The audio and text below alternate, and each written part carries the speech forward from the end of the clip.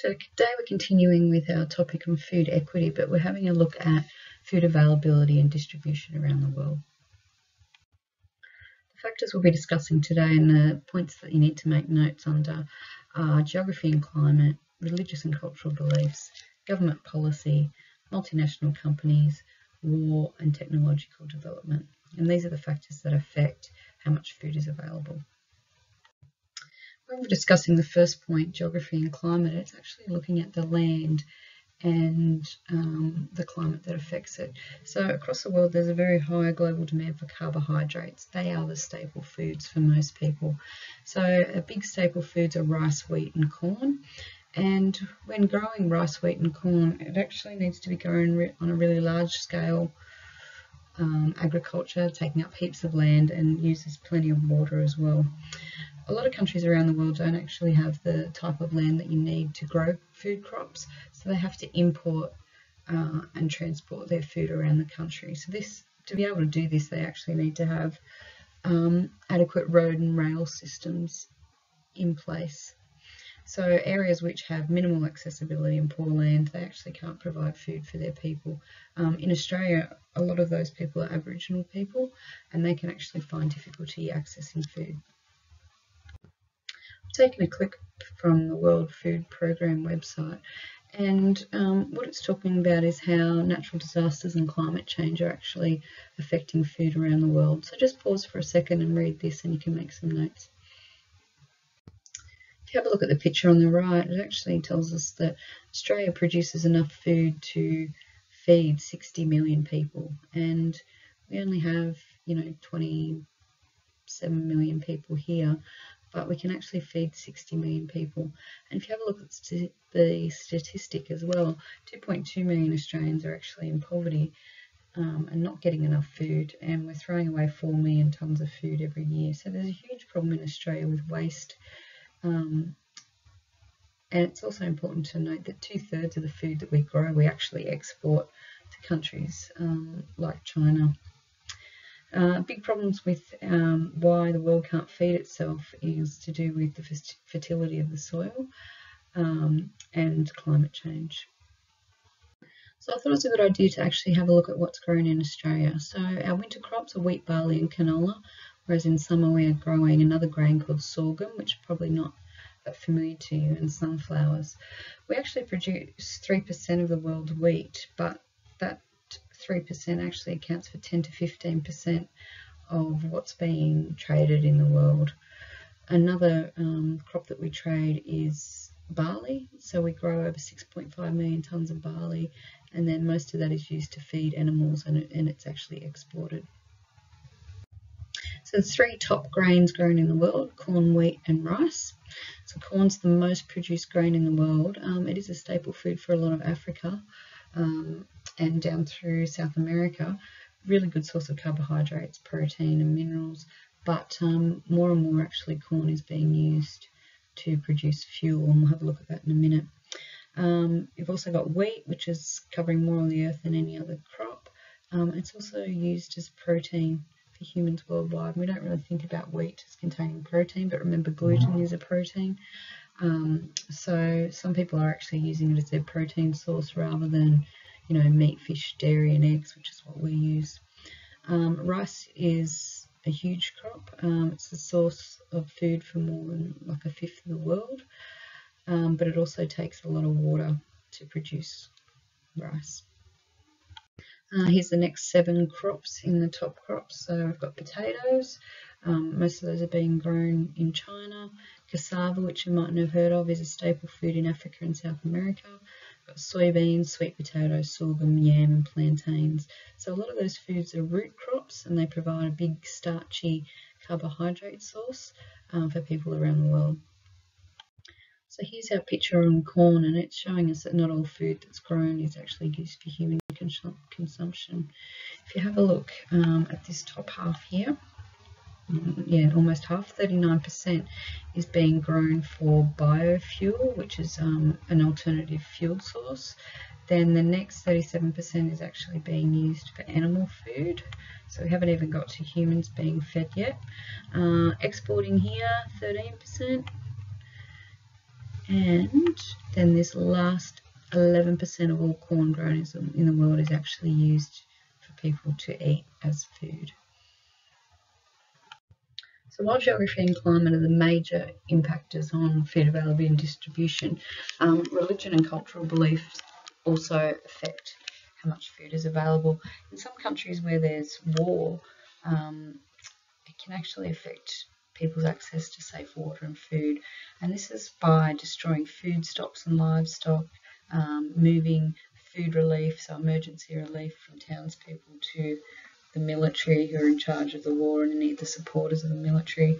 Uh, farming populations in these countries are often decreased, and when the population of the people is decreased, the food production is decreased, and then there's shortages that are spread throughout the world. So it's really sad what's happening in the world when there's wars going on. There's not just fighting, but there's actually um, big restrictions on the food that's available for people. Um, and these shortages actually continue even after wars are finished. Um, in regards to religion, also, um, the availability of foods that are specific to some religion, religions might also affect where people need to live. Um, like Jewish people need access to halal and kosher, kosher foods, and often they're only available in large cities, so people are forced to live there taken another section from the World Food Programme website and it actually talks about uh, the effects of war on food. So just pause for a moment and have a read about what's happening in some countries. Government policy is the third thing that affects food availability and distribution. Um, and you probably don't really give government policy a second thought, but there's a lot of things going on that are affecting who gets food. Um, Governments and businesses are often motivated by power and wealth, and they're not always the most ethical people looking after the interests of everyone. Um, many people across the world are actually in debt to governments, and they're actually growing their crops and selling them to make money to pay back to the government, and then they often don't have enough food for themselves, their families, or their little villages. Um, some things that are happening in the government that affect what food is available. We've got trade restrictions. I need you to write this into your glossary. Um, this is where governments can ban certain foods from being imported or exported. So they do that to make imported goods or services less competitive than locally produced goods and services, and that's to try and um, boost the amount of locally made products that are sell, uh, sold. Um, so it's, a, um, it's good to have an idea about imported. So imported are things that we bring into the country and exported are things that we grow or make here and we actually then sell off to other countries. Um, tariffs is the next term that I want you to put in your glossary. So a tariff is just basically a tax that's put on goods that are imported or exported. Now Ardmona, the fruit canning company in Australia, they actually wanted the government to put tax on imported canned fruit so that um, that tax would make anything that was imported, so that came from other countries, actually a little bit more expensive, so that Australians wouldn't necessarily want to buy the cheaper thing. Um, and they would then keep supporting Ardmona. But Ardmona like actually ended up closing because they couldn't um, afford to keep up with the industry. So I've just put a fact there that in 2011 and 2012 Australia imported, so they actually brought in $64 million worth of fresh vegetables. Now I find this really amazing when we have a look at the fact that Australia can provide food for 60 million people, but here we are importing all of these fresh vegetables. We're also importing $290 million worth of fruit and nuts and $1.7 billion of processed fruit and vegetables. So that's fruit and vegetables um, that have been changed into another product. So it can include canned or dried or things that are actually included, you know, like in stocks and sauces. So in Australia here, even though we can grow a lot of the food ourselves and we have a climate for growing foods, we're actually importing a lot of things, um, which is probably putting local businesses um, out of business. Now, multinational companies or transnational companies, which you might have learnt that term in geography last year, they are huge companies who have their base usually in a developed country and then they have smaller offices all around the world and they also have factories around the world. So they've got lots of money. They've got a high profile in the media. Like if you have a look at a lot of those brands there, you will know who they are. And their big goal is to make money. So um, they often make foods that aren't that healthy. So you can see by all of those pictures there, they are foods that we don't normally consider as high in nutrition. Uh, and then they have mass marketing um, money that they can then market to teenagers and they try and get people to buy them. So these multinational big companies, they can actually exploit workers who grow crops um, for them. Um, often their factories are in poorer developing countries and you would have learned about sweatshops um, in geography last year. The other thing that affects how much food is available is technological developments and a lot of our aid agencies now are actually involved in research to try and um, create some technology in developing countries to increase the amount of food that's available and distributed. So I've got some examples there of drought resistant crops, um, harvesting water and creating labour saving machinery for small farms and women. So this is how aid agencies can go in and actually change the lives of people in developing countries.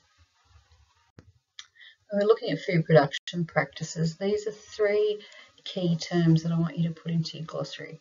The first one is subsistence farming, and this is where people are growing enough food just for your family and they haven't got very much left over.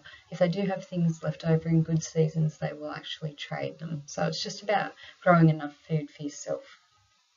The second term is cash cropping, and that's where you're using most of your land to grow a crop to sell um, to people to make money.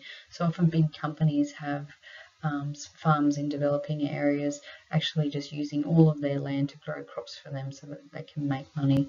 So in bad seasons, um, what happens is they can't grow that crop and then they don't get any money and then they're poor and then they don't have access to food. So um, cash cropping also isn't very good for the environment. So they just actually, you know, plant lots and lots of crops and they don't think about the fertility of the soil. Sustainable farming is the third term, um, and it's actually keeping the environment in mind. And it's not just thinking about the money, it's also thinking about how you're using resources effectively and how you can grow nutritious foods for small um, villages and for people, and actually increase the quality of life for farmers and think about something other than making money. The last thing we're going to have a look at is fair trade. So just pause for a second, have a look at the picture and read through what fair trade is. So fair trade is all about creating um, a system where you're improving the conditions for the people who are producing your food. So you might have seen things like fair trade chocolate, um, and that's where they're actually buying cocoa beans um, from farmers in developing countries, but they're not just buying and taking all their money, what they're doing is actually then supporting people in those areas. So Oxfam is really involved in um, looking after small farmers around the world and helping them to have a better quality of life while they grow all their food um, for us to enjoy things like cocoa. So that's it for our presentation today. I just want you now to have a think about food availability around the world and I want you to have a look at what you've got in your pantry at home.